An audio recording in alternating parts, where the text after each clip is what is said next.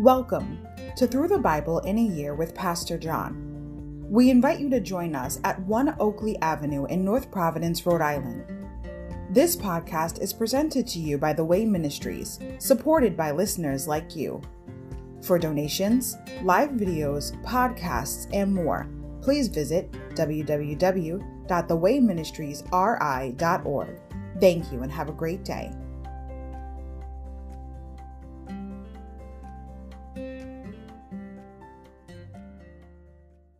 Hi, everybody. Welcome to Through the Bible in a Year with Pastor John. So glad you could join me today to get a portion of God's Word. Today we're going to begin in day 139, May 18th, Job chapters 8 to 10, Bildad and Job first debate. Overview. Eliphaz has based his arguments on a cause and effect view of sin and suffering.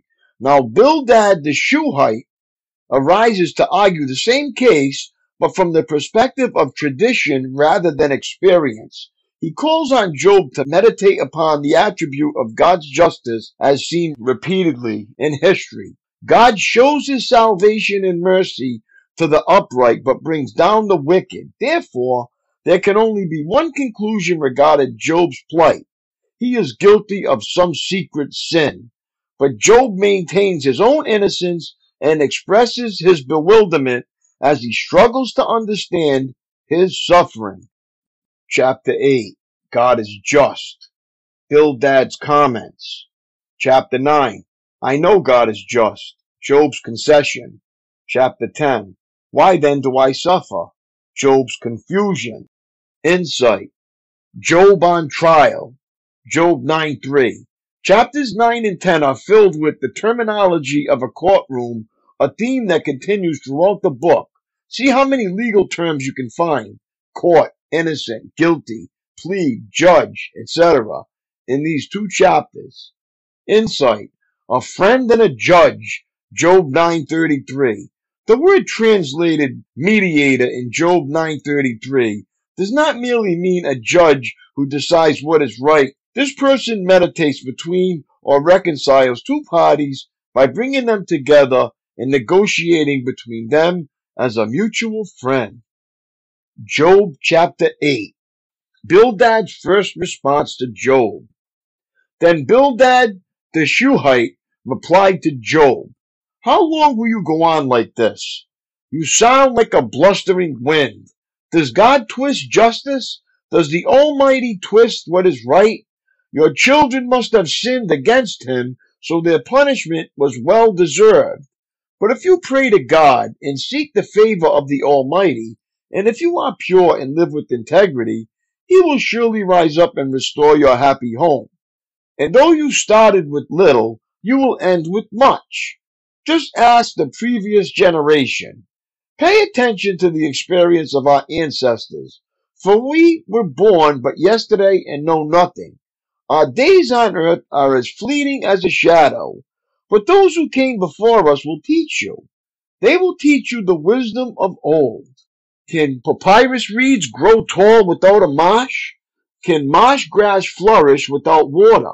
While they are still flowering, not ready to be cut, they begin to wither more quickly than grass. The same happens to all who forget God. The hopes of the godless evaporate. Their confidence hangs by a thread. They are leaning on a spider's web. They cling to their home for security, but it won't last. They try to hold it tight, but it will not endure. The godless seem like a lush plant growing in the sunshine, its branches spreading across the garden. Its roots grow down to a pile of stones. It takes hold on a bed of rocks. But when it is uprooted, it is as though it never existed. That's the end of its life and others spring up from the earth to replace it. But look, God will not reject a person of integrity, nor will he lend a hand to the wicked. He will once again fill your mouth with laughter and your lips with shouts of joy. Those who hate you will be clothed with shame, and the home of the wicked will be destroyed. Job chapter 9. Job's third speech, a response to Bildad. Then Job spoke again. Yes, I know All this is true in principle. But how can a person be declared innocent in God's sight? If someone wanted to take God to court, would it be possible to answer him even once in a thousand times? For God is so wise and so mighty, who has ever challenged him successfully? Without warning, he moves the mountains, overturning them in his anger. He shakes the earth from its place, and its foundations tremble. If he commands it, the sun won't rise, and the stars won't shine. He alone has spread out the heavens and marches on the waves of the sea. He made all the stars, the Bear and Orion, the Pleiades, and the constellations of the southern sky. He does great things too marvelous to understand. He performs countless miracles. Yet when he comes near, I cannot see him. When he moves by, I do not see him go. If he snatches someone in debt, who can stop him? Who dares to ask, What are you doing? And God does not restrain his anger.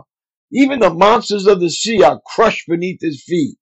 So who am I that I should try to answer God, or even reason with him? Even if I were right, I would have no defense. I could only plead for mercy. And even if I summoned him and he responded, I'm not sure he would listen to me. For he attacks me with the storm and repeatedly moves me without cause. He will not let me catch my breath, but fills me instead with bitter sorrows. If it's a question of strength, he is the strong one. If it's a matter of justice, who dares to summon him to court? Though I am innocent, my own mouth would pronounce me guilty. Though I am blameless, it would prove me wicked. I am innocent, but it makes no difference to me. I despise my life. Innocent or wicked, it's all the same to God. That's why I say he destroys both the blameless and the wicked. When a plague sweeps through, he laughs at the death of the innocent. The whole earth is in the hands of the wicked, and God blinds the eyes of the judges. If he's not the one who does it, who is? My life passes more swiftly than a runner. It flees away without a glimpse of happiness. It disappears like a swift papyrus boat, like an eagle swooping down on its prey. If I decided to forget my complaints, to put away my sad face and be cheerful, I would still dread all the pain, for I know you will not find me innocent, O God.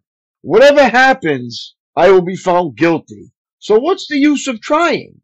Even if I were to wash myself with soap and clean my hands with lye, you would plunge me into a muddy ditch, and my own filthy clothing would hate me.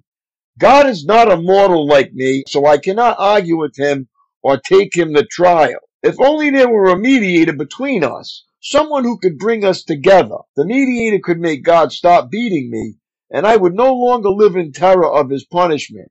Then I could speak to him without fear, but I cannot do that in my own strength. Job chapter 10. Job frames his plea to God. I am disgusted with my life. Let me complain freely.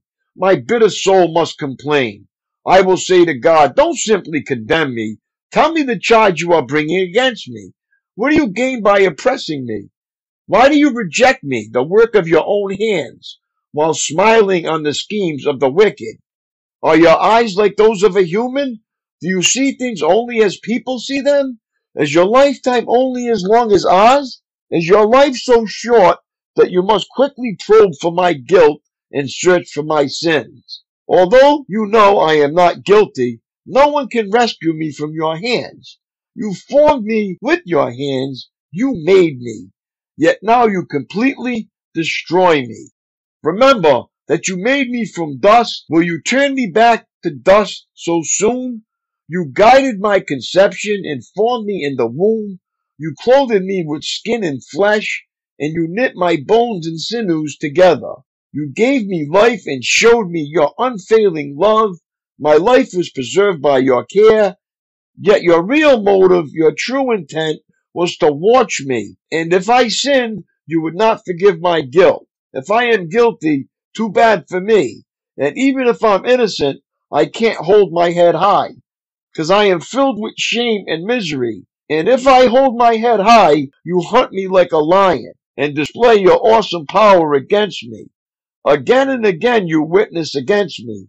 you pour out your growing anger on me and bring fresh armies against me. Why then did you deliver me from my mother's womb? Why didn't you let me die at birth? It would be as though I had never existed, going directly from the womb to the grave. I have only a few days left, so leave me alone, that I may have a moment of comfort. Before I leave, never to return, for the land of darkness and utter gloom. It is a land as dark as midnight, a land of gloom and confusion, where even the light is dark as midnight. My daily walk. The need for someone who can reconcile a holy God and sinful humanity is as old as the early chapters of Genesis. The sin of Adam and Eve in the Garden of Eden, Genesis 3 6, interrupted their fellowship with God, brought forth God's anger and judgment, and placed a barrier between God and humanity. Later, prophets would represent God to the people, and priests would establish God's order on earth for humanity. Yet throughout the Old Testament, there was never one who could fully heal the breach. To do that would require a man to be God and God to become a man. Job lived during a period of history when a perfect and sinless mediator was unknown. The one who alone can bring God and humanity together and restore that lost fellowship is Jesus Christ. 1 Timothy chapter 2 verse 5. Do you know Jesus as your personal savior and mediator before God? He is waiting to bring you to God and to settle the sin problem that has estranged you from Him. Will you let Him? The best of saints have borne the worst of sufferings. So true. That's all for today, my friends. Have a great day and God bless and keep up the good work. And I will see you tomorrow. Lord willing, peace.